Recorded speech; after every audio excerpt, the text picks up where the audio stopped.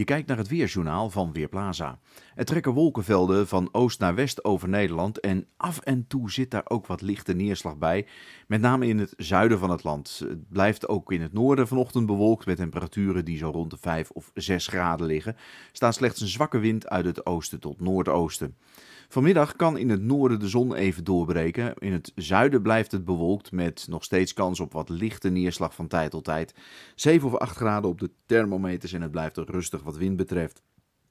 Vanavond zien we dan juist in de kustgebieden een paar opklaringen. Verder blijft het bewolkt, maar het is wel op de meeste plaatsen droog. En die opklaringen kunnen in de nacht zorgen voor hier en daar wat mist, zodat we morgenochtend wat grijs starten. In het oosten schijnt dan even de zon. Later op de dag van het noordwesten uit kans op wat lichte regen. En de temperaturen lopen verder op 9 tot 11 graden wordt het.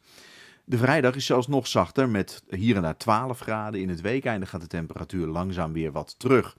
Het is een uh, wat wisselend weerbeeld met soms een gebied met wat regen wat overtrekt, maar alle dagen is er ook kans op een beetje zonneschijn. Ik ben Marco Verhoef van Weerplaza.nl